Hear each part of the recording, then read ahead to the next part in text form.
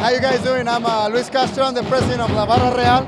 And I'm Jose Arellano, I'm the vice president. Uh, we just wanna wanna let you guys and uh, we La Barra Real. This is the Hispanic supporter group for the Real Salt Lake. Uh, also to let you guys know that anybody is welcome to come and join.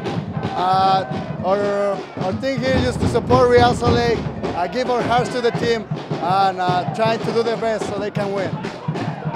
Yeah, like he said, uh, we're here supporting our team, and we want to let everybody know, everyone that loves this team can come join us. Doesn't matter if you don't speak Spanish, you know, you can speak here, yelling, screaming, dancing, whatever, just as long as we're supporting our team.